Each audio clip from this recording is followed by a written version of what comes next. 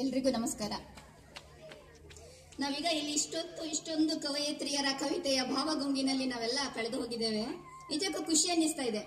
ಆದ್ರೆ ಆಶ್ಚರ್ಯ ಅನ್ನಿಸೋದೇನಂದ್ರೆ, ಈಗ ಎಲ್ಲ ಕಡೆ ಒಂದೇ ರಾಗ, ಕವಿತೆ ಓದೋರಿಲ್ಲ, ಕವಿತೆ ಕೇಳೋರಿಲ್ಲ, ಹಾಗಾಗಿ ನೀವು ಕವಿತೆ ಬರಿಬೇಡಿ ಅಂತ.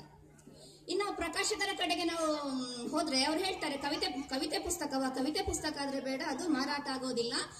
ಅದು ಬೇಡಿಕೆ ಇಲ್ಲ, ಅದಕ್ಕೆ ನೀವು ಬೇರೆ ಯಾವುದಾದ್ರೂ ಗದ್ಯ ಪ್ರಕಾರವನ್ನು ಕೊಡಿ, ನಾವು ಪ್ರಕಟಿಸ್ತೇವೆ ಅಂತ ಹೇಳ್ತಾರೆ.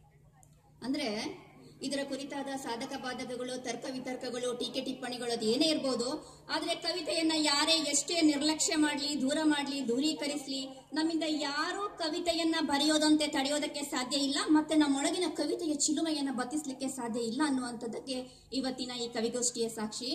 ಸಾಕಷ್ಟು ಸಂಖ್ಯೆಯಲ್ಲಿ ಕವಯತ್ರಿಯರು ತುಂಬಾ ಉತ್ಸಾಹದಿಂದ ಕವಿತೆಯನ್ನ ಓದಿದ್ದೀರಾ ಮತ್ತೆ ಅಷ್ಟೇ ತಾಳ್ಮೆಯಿಂದ ಸಹೃದಯರು ನೀವೆಲ್ಲ ಕೇಳಿದ್ದೀರಾ?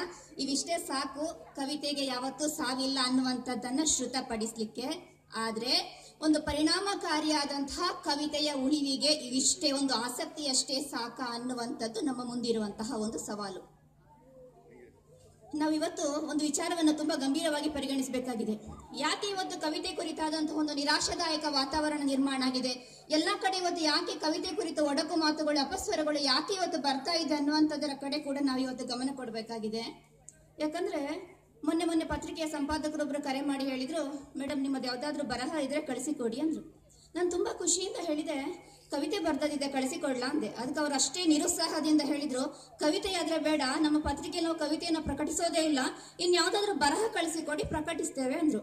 ಅದಕ್ಕೆ ನಾನಂದೆ, ನೀವು ಪತ್ರಿಕೆಯವರೇ ಕವಿತೆ ಕುರಿತು ಇಷ್ಟು ತಾರತಮ್ಯ ಮಾಡಿದ ಹೇಗೆ? ಅಂದಾಗ ಅವ್ರು ಹೇಳಿದ್ರು, ನೋಡಿ, ಈಗ ಯಾರೂ ಕೂಡ ಪ್ರಯೋಗಶೀಲವಾದಂತಹ ಹೊಸ ದೃಷ್ಟಿಕೋನ ಉಳ್ಳಂತಹ ಕವಿತೆಗಳನ್ನ ಯಾರೂ ರಚಿಸ್ತಾ ಇಲ್ಲ.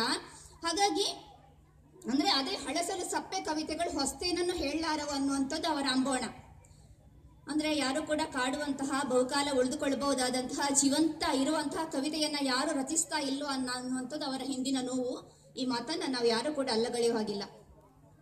ನೋಡಿ, ನಾವೆಲ್ಲ ಒಂದೆರಡು ಸಾಲ ಏನು ಗೀಚ್ಬೋದು ಅದಕ್ಕೆ ಕವಿತೆ ಅಂತ ಹಣೆ ಪಟ್ಟಿ ಕೊಡ್ಬೋದು, ಅಥವಾ ನಮಗೆ ನಾವೇ ಸ್ವಯಂ ಘೋಷಿತ ಕವಿಗಳು ಕೂಡ ಆಗಿರ್ಬೋದು. ನಾವು ಒಂದೆರಡು ಸಾಲು ಕವಿತೆ ಗೀಚಿ ಕವಿತೆ ಓದಿದಾಕ್ಷಣ ಅಥವಾ ವೇದಿಕೆಯಲ್ಲಿ ನಿಂತು ಕವಿತೆ ಓದಿದಾಕ್ಷಣ ಪತ್ರಿಕೆಯಲ್ಲಿ ನಮ್ಮ ಕವಿತೆ ಪ್ರಕಟ ಆದಾಕ್ಷಣ ನಾವೆಲ್ಲ ಕವಿಗಳಾಗೋದಿಕ್ಕೆ ಸಾಧ್ಯ ಇದೆಯಾ? ಒಂದು ವಿಚಾರವನ್ನು ನಾವು ಇವತ್ತು, ಯಾವತ್ತು ನಮ್ಮೊಳಗನ್ನು ಪ್ರಶ್ನೆ ಹಾಕೊಳ್ಬೇಕು. ನಾವು ಬರ್ದದ್ದು ಯಾವುದೂ ಕೂಡ ಕವಿತೆಗಳಾಗೋದಿಲ್ಲ. ಮತ್ತೆ ನಾವು ಬರ್ದದ್ದೆಲ್ಲವೂ ಕೂಡ ಕವಿತೆಗಳಾಗಬೇಕು ಅನ್ನುವಂತಹ ಭ್ರಮೆ ಕೂಡ ನಮ್ಮಲ್ಲಿ ಇರಬಾರ್ದು ಅಂತ. ನಾನು ಯಾಕೆ ಈ ಮಾತನ್ನು ಇಷ್ಟೊತ್ತು ಹೇಳಿದೆ ಅಂದ್ರೆ ನನಗೆ ಇಷ್ಟೊತ್ತು ಇಷ್ಟೊಂದು ಕವಯತ್ರಿಯರ ಕವಿತೆಯನ್ನ ಕೇಳಿದೆ. ಎಲ್ಲರೂ ಕೂಡ ತುಂಬಾ ಖುಷಿಯಿಂದ ಕವಿತೆಯನ್ನ ಓದಿದ್ದೀರಾ? ಅದರಲ್ಲೂ ಎಲ್ಲರೂ ಕೂಡ ತಮ್ಮ ಭಾವನೆಗಳ ಅಭಿವ್ಯಕ್ತಿಗೆ ಕವಿತೆಯನ್ನ ಒಂದು ಸೃಜನಶೀಲ ಮಾಧ್ಯಮವನ್ನಾಗಿ ಬಳಸಿಕೊಂಡಿದ್ದೀರಾ ಅನ್ನುವಂಥದ್ದು ತುಂಬಾ ಖುಷಿ ಕೊಡುವ ಸಂಗತಿ. ಆ ನಿಟ್ಟಿನಲ್ಲಿ ನೀವೆಲ್ಲರೂ ಕೂಡ ಅಭಿನಂದನಾರ್ಹರೇ. ಆದರೆ ಇಂತಹ ಆಸಕ್ತಿ ಅಷ್ಟೇ ಕವಿತೆಯ ಉಳಿವಿಗೆ ಸಾಕ ಅನ್ನುವಂಥದ್ದು ನಮ್ಮ ಮುಂದಿರೋ ಪ್ರಶ್ನೆ. ನಾನಿಲ್ಲಿ ಗಮನಿಸಿದ ಹಾಗೆ ಎಲ್ಲರೂ ಕೂಡ ತಮ್ಮ ಓದಿನ ಮಿತಿಗೆ ತಕ್ಕ ಹಾಗೆ, ತಮ್ಮ ಅನುಭವದ ವ್ಯಾಪ್ತಿಗೆ ತಕ್ಕ ಹಾಗೆ ಪ್ರಾಮಾಣಿಕ ಪ್ರಯತ್ನವನ್ನ ಮಾಡಿದ್ದೀರಾ? ಒಂದಷ್ಟು ಒಳ್ಳೆಯ ಭರವಸೆಯ ಕವಯತ್ರಿಯರು ಕೂಡ ಇಲ್ಲಿದ್ದಾರೆ. ಒಂದಷ್ಟು ಒಳ್ಳೆಯ ರಚನೆಗಳು ಕೂಡ ಇದ್ದವು. ಎಲ್ಲವನ್ನ ಕೂಡ ಉಲ್ಲೇಖಿಸ್ತಾ ಹೋಗೋದು ಕಷ್ಟ. ಆದ್ರೆ ಇನ್ನೊಂದಷ್ಟು ಕವಿತೆಗಳು ಕವಿತೆಯ ಒಲವನ್ನ ದಕ್ಕಿಸಿಕೊಳ್ಳಿಕ್ಕೆ ಒಂದಷ್ಟು ಪ್ರಯತ್ನವನ್ನ ಪಡಬೇಕಾಗಿದೆ ಅಂತ ಹೇಳುವಂಥದ್ದು ನನ್ನ ಅನಿಸಿಕೆ. ಯಾಕಂದ್ರೆ ನಾವು ಕವಿತೆಯನ್ನ ವರ್ಣಿಸ್ತಾ ಹೋದ್ರೆ, ಕವಿತೆಯನ್ನ, ನಮ್ಮ ವೈಯಕ್ತಿಕ ವಿವರಗಳನ್ನು ನಾವು ಬಹಿರಂಗ ಪಡಿಸ್ತಾ ಹೋದ್ರೆ ಅದು ಕವಿತೆ ಆಗೋದಿಲ್ಲ. ಅದು ವ್ಯರ್ಥ ಹಳಹಳಿಕೆ ಆಗಿ ಬಿಡ್ತದೆ, ಅದು ವರದಿ ಆಗ್ತದೆ ಕವಿತೆ ಅಂದ್ರೆ ಏನು? ನಮಗೆ ಪ್ರತ್ಯಕ್ಷ ಏನ್ ಕಾಣ್ತಾ ಉಂಟು ಅದನ್ನ ಹೇಳೋದು ಕವಿತೆ ಅಲ್ಲ. ಕವಿತೆ ಅಂದ್ರೆ ಪರೋಕ್ಷ ನೆಲೆಯಲ್ಲಿ ಅದು ಧ್ವನಿಸ್ಬೇಕು. ನಮ್ಗೆ ಒಂದು ವಿಚಾರ ಗೊತ್ತಿರಬೇಕು. ಯಾಕೆ ಇವತ್ತು ರಾಮಾಯಣ ಮಹಾಭಾರತದಂತಹ ಮಹಾಕಾವ್ಯಗಳು ಇವತ್ತಿಗೂ ಯಾಕೆ ಉಳ್ಕೊಂಡಿದೆ ಅಂತ? ಯಾಕಂದ್ರೆ ಅದು ಪರೋಕ್ಷ ಧ್ವನಿಯಲ್ಲಿ ತನ್ನ ನೆಲೆಯನ್ನ ಧ್ವನಿಸಿದೆ. ಒಂದು ಉದಾಹರಣೆಯನ್ನು ಕೊಡ್ತೇನೆ. ರಾಮಾಯಣದ ಯುದ್ಧದ ಸಂದರ್ಭ. ಇನ್ನೇನು ರಾಮನಿಗೂ ಮತ್ತು ರಾವಣನಿಗೂ ಯುದ್ಧ ಆಗಬೇಕು. ರಾಮ ಇನ್ನೇನು ಬ್ರಹ್ಮಾಸ್ತ್ರವನ್ನ ರಾವಣನಿಗೆ ಬಿಡಬೇಕು. ಆದ್ರೆ ಬ್ರಹ್ಮಾಸ್ತ್ರವನ್ನ ರಾವಣನಿಗೆ ಬಿಡಬೇಕಂದ್ರೆ ಬ್ರಹ್ಮಾಸ್ತ್ರಕ್ಕೆ ತನ್ನ ಒಂದು ಸರಿಯಾದ ಪರಿಚಯವನ್ನು ಹೇಳಬೇಕಾಗ್ತದೆ. ಆಗ ರಾಮ ಹೇಳ್, ಆಗ ಮಾತ್ರ ಅದು ಬ್ರಹ್ಮಾಸ್ತ್ರ ಕೆಲಸ ಮಾಡ್ತದೆ. ಆಗ ರಾಮ ಹೇಳ್ತಾನೆ, ದಶರಥನ ಪುತ್ರನಾದ ನಾನು ಅಂತ ಹೇಳಿ ಬ್ರಹ್ಮಾಸ್ತ್ರವನ್ನ ರಾವಣನಿಗೆ ಬಿಡ್ತಾನೆ. ಬ್ರಹ್ಮಾಸ್ತ್ರ ಹೋಗ್ತದೆ, ಹಾಗೆ ರಾವಣನ ಪಾಕ ಹಾಗೆ ನಿಂತ್ಕೊಳ್ತದೆ. ತದನಂತರ ರಾಮ ಹೇಳ್ತಾನೆ ಕೌಸಲ್ಯ ಪುತ್ರನಾದ ನಾನು ಅಂತ. ಆಗ ಬ್ರಹ್ಮಾಸ್ತ್ರ ಕೆಲಸ ಮಾಡ್ತದೆ. ಅಂದ್ರೆ ಇದು ಏನ್ ಹೇಳ್ತದೆ? ರಾಮಾಯಣದಲ್ಲಿ ಕವಿ ವಾಲ್ಮೀಕಿ ಎಲ್ಲೂ ಕೂಡ ದಶರಥ ರಾಮನ ನಿಜವಾದ ತಂದೆ ಅಲ್ಲ ಹೌದು ಅನ್ನುವಂಥದ್ದನ್ನ ಹೇಳಲೇ ಇಲ್ಲ ಕವಿ. ಯಾಕಂದ್ರೆ ರಾಮ ಹೇಗೆ ಹುಟ್ಟಿದ? ರಾಮಪುತ್ರ ಕಾಮೇಷ್ಟಿ ಯಾಗದಲ್ಲಿ ಹುಟ್ಟಿದವನು. ಹಾಗಾಗಿ ದಶರಥ ರಾಮನಿಗೆ ಪರೋಕ್ಷವಾಗಿ ಪೋಷಕ ತಂದೆ ಆಗ್ತಾನೆ. ಅದು ಕಾವ್ಯ ಪರೋಕ್ಷವಾಗಿ ಧ್ವನಿಸಿದೆ. ಇದು ಕಾವ್ಯದ ಗೆಲುವು ಅಂತ.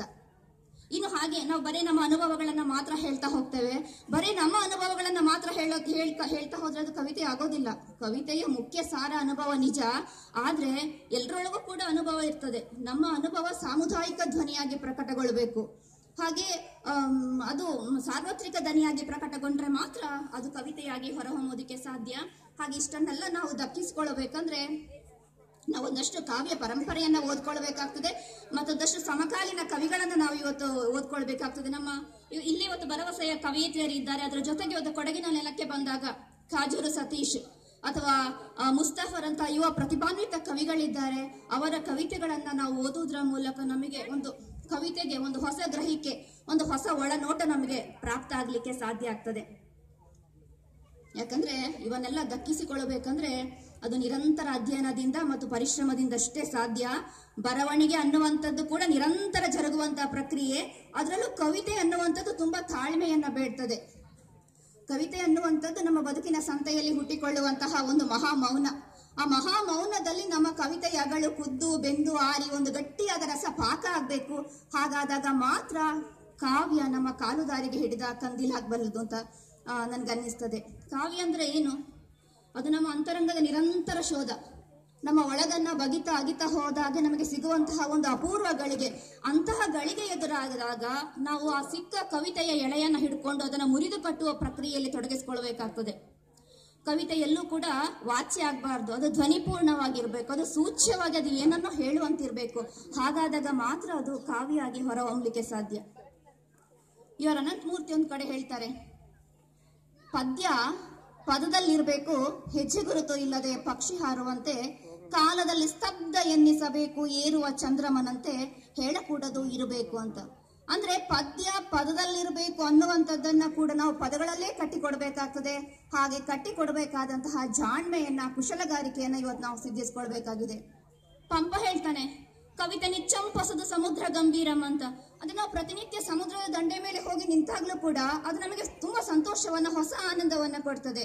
ಹಾಗಾಗಿ ನಾವು ಒಂದು ಅದೇ ಕವಿತೆಯನ್ನು ನಾವು ಪ್ರತಿನಿತ್ಯ ಓದಿದಾಗ್ಲೂ ಕೂಡ ನಮಗೆ ಹೊಸ ಅರ್ಥಗಳನ್ನ, ಹೊಸ ಹೊಳವುಗಳನ್ನ ಅದು ನಮಗೆ ಧ್ವನಿಸುವಂತಾದ್ರೆ ಅಂತಹ ಕಾವ್ಯ ಅದು ಸಾರ್ಥಕತೆಯನ್ನ ಪಡ್ಕೊಳ್ತದೆ ಅಂತ ನಾನು ಅಂದ್ಕೊಂಡಿದ್ದೇನೆ ನೋಡಿ, ನನಗಿಷ್ಟೆಲ್ಲ ಇಷ್ಟೊತ್ತು ಉಪದೇಶ ಕೊಟ್ಟೆ. ಹಾಗಂತ ನಾನೇನು ಮಹಾನ್ ಕವಿ ಆಗ್ಲಿ, ಕವಿತೆ ಬಗ್ಗೆ ತುಂಬಾ ತಿಳ್ಕೊಂಡವಳಾಗ್ಲಿ ಖಂಡಿತ ಅಲ್ವೇ ಅಲ್ಲ. ನಾನು ಇನ್ನೂ ಕೂಡ ಕಾವ್ಯದ ವಿದ್ಯಾರ್ಥಿನಿ ಮತ್ತು ಕವಿತೆಯ ಬಗ್ಗೆ ಇನ್ನೂ ಕೂಡ ಪ್ರತಿನಿತ್ಯ ತಿಳ್ಕೊಳ್ಳಿಕ್ಕೆ ನಾನು ಹಂಬಲಿಕೆಯನ್ನ ಪಡ್ತಾ ಇರುವಂತವಳು. ನಾನು ಕೂಡ ನಿಮ್ಮೆಲ್ಲರ ಹಾಗೆ ಒಬ್ಳು ಕವಯತ್ರಿಯೇ. ಆದ್ರೆ ಇವತ್ತು ನನಗೆ ಸಾಹಿತ್ಯ ಪರಿಷತ್ತಿನ ಅಧ್ಯಕ್ಷರು ಹೇಳಿದ್ದಾರೆ. ಇವತ್ತು ಮಾತ್ರ ನೀವು ಕವಿತೆ ಓದಬೇಡಿ, ಇವತ್ತು ಕವಿತೆ ಬಗ್ಗೆ ಮಾತಾಡಿ ಅಂತ ಹೇಳಿದ್ದಾರೆ. ಹಾಗಾಗಿ ನನಗೆ ಈ ಕ- ಈ ಅವಕಾಶ ಮುಂದಿನ ಸರದಿ ನಿಮ್ಮದೆಲ್ಲರದ್ದು ಒಬ್ಬೊಬ್ಬರದಾಗಿ ಬರ್ಬೋದು. ಹಾಗಾಗಿ ನಾನು ಈ ಕಾರ್ಯಕ್ರಮಕ್ಕೆ ನ್ಯಾಯ ಒದಗಿಸಬೇಕು ನನ್ನ ಜವಾಬ್ದಾರಿ, ನನ್ನ ಕರ್ತವ್ಯಕ್ಕೆ ಲೋಪ ಬರಬಾರ್ದು. ಹಾಗಾಗಿ ಒಂದಷ್ಟು ಉಪದೇಶಗಳನ್ನ, ಉಚಿತ ಸಲಹೆಗಳನ್ನ ನಿಮಗೆ ಕೊಟ್ಟೆ. ಯಾರು ಅನ್ಯತಾ ಭಾವಿಸಬಾರ್ದು. ಯಾಕಂದ್ರೆ ನಮ್ಮ ಜನರು ಉಪದೇಶಗಳನ್ನ ಕೊಡೋದ್ರಲ್ಲಿ ತುಂಬಾ ನಿಸ್ಸೀಮರು. ಹಾಗಾಗಿ ನಾನು ಒಂದಷ್ಟು ಉಪದೇಶಗಳನ್ನು ಕೊಟ್ಟೆ. ಆದರೆ ಒಂದಷ್ಟು ವಿಚಾರವನ್ನ ನೀವು ಗಂಭೀರವಾಗಿ ಪರಿಗಣಿಸಬೇಕು. ಒಮ್ಮೊಮ್ಮೆ ಉಚಿತ ಸಲಹೆಗಳನ್ನು ಕೂಡ ಗಂಭೀರವಾಗಿ ಪರಿಗಣಿಸಬೇಕಾದಂತಹ ಒಂದು ಅವಶ್ಯಕತೆ ಮತ್ತೆ ಅನಿವಾರ್ಯತೆ ಇದೆ ಅಂತ. ಯಾಕಂದ್ರೆ ನಮ್ಮ ತಪ್ಪುಗಳು, ನಮ್ಮ ದೌರ್ಬಲ್ಯಗಳು ನಮಗೆ ಗೊತ್ತಾಗೋದಿಲ್ಲ. ನಮ್ಗೆ ಹೆತ್ತ ತಾಯಿಗೆ ಹೆಗ್ಗಣ ಮುದ್ದು ಅಂತಾರಲ್ಲ, ಹಾಗೆ ನಾವು ಬರ್ದದೇ ಕವಿತೆ, ನಾನು ಬರ್ದದೇ ಚಂದ ಉಂಟು. ಅಥವಾ ನನ್ನ ಕವಿತೆಗಿಂತ ಇನ್ಯಾರ್ದು ಚಂದ ಇರ್ಲಿಕ್ಕಿಲ್ಲ. ನಮ್ಮ ಕವಿತೆ ಕುರಿತು ಯಾರಾದರೂ ಟೀಕೆ ಮಾಡಿದ್ರೆ, ಲೋಪಗಳನ್ನ ಹೇಳಿದ್ರೆ ನಮ್ಗೆ ಕೆಟ್ಟ ಕೋಪ ಬರ್ತದೆ, ಅಸಮಾಧಾನ ಆಗ್ತದೆ. ಅಂದ್ರೆ ಈ ರೀತಿಯಾದಂತಹ ಅತಿಯಾದ ವ್ಯಾಮೋಹದಿಂದ ನಾವಿವತ್ತು ಹೊರಕ್ಕೆ ಬರಬೇಕಾಗಿದೆ. ನಮ್ಮ ಕವಿತೆಯನ್ನ ನಾವು ಬೇರೆಯವ್ರ ಜೊತೆ ತೋರಿಸ್ಬೇಕಾಗ್ತದೆ, ತಿದ್ದುಪಡಿ ಮಾಡಿಸ್ಬೇಕು. ಹಾಗಾದಾಗ ನಮಗೆ ಒಂದು ಕವಿತೆಯ ಹೊಸ ಸಾಧ್ಯತೆಗಳು, ಹೊಸ ಆಯಾಮಗಳು ನಮಗೆ ತೆರೆದುಕೊಳ್ಳಲಿಕ್ಕೆ ಸಾಧ್ಯ ಆಗ್ತದೆ ಅಂತ ನನ್ನ ಅನಿಸಿಕೆ. ಹಾಗೆ ಕೊನೆಯದಾಗಿ ಹೇಳ್ತಾನೆ, ನಾವೆಲ್ಲ ಇವತ್ತು ಮಹಿಳೆಯರು ಕವಿ, ಅಂದ್ರೆ ಕವಿತೆ ಅನ್ನುವಂಥದ್ದು ನಮ್ಮ ಅಂತರಂಗದ ಧ್ವನಿ, ನಮ್ಮ ಬದುಕಿನ ಒಂದು ಭಾಗವೇ ಕಾವ್ಯ. ಹಾಗಾಗಿ ನಮಗೆ ಕಾವ್ಯ ಕಟ್ಟುವುದು ಅಷ್ಟೊಂದು ತ್ರಾಸದಾಯಕ ಕೆಲಸ ಅಲ್ಲ. ಆದ್ರೆ ಸಿಕ್ಕ ಕವಿತೆಯ ಚೂರನ್ನ ಹೇಗೆ ಬಿಗಿಯಾಗಿ, ಹದವಾಗಿ ನಾವು ಕಟ್ಟಬೇಕು ಅನ್ನುವಂಥದ್ರ ಕಡೆ ನಾವಿವತ್ತು ಗಮನ ಕೊಡಬೇಕಾಗಿದೆ. ಯಾಕಂದ್ರೆ ಕವಿತೆ ಅನ್ನುವಂಥದ್ದು ಕೂಡ ಅಮ್ಮ ಹದವರಿತು ಮಾಡಿದ ಉಪ್ಪಿನಕಾಯಿ ಹಾಗೆ. ಅಮ್ಮ ಹೇಗೆ ಹದವರಿಕೆ ಮಾಡಿದ ಉಪ್ಪಿನಕಾಯಿ ಹಾಳಾಗದೆ ಕಾಲಾನುಗಟ್ಲೆ ಹಾಗೆ ಉಳ್ಕೊಳ್ತದೋ, ಹಾಗೆ ನಾವು ಹದವರಿತು ಬಿಗಿಯಲ್ಲಿ ಕಟ್ಟಿದಂತಹ ಒಂದು ಕವಿತೆ, ಅದು ಕಾ- ಎಷ್ಟೇ ಕಾಲ ಎಷ್ಟೇ ಮುಂದೆ ಬದಲಾಗ್ತಾ ಹೋದ್ರೂ ಕಾಲದ ಜೊತೆಗೆ ಸೆಣಸಾಡ್ತಾ ಹಾಗೆ ಉಳ್ಕೊಳ್ತದೆ.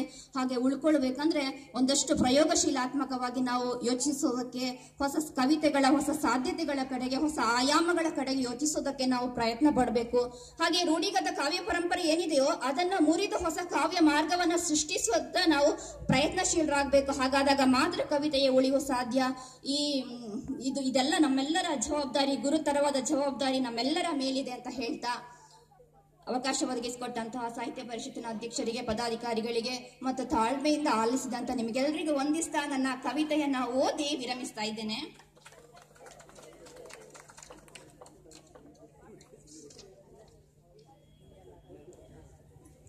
ಕವಿತೆಯ ಹೆಸರು ಭೂಮಿ ತೂಗುವ ಹಕ್ಕಿ.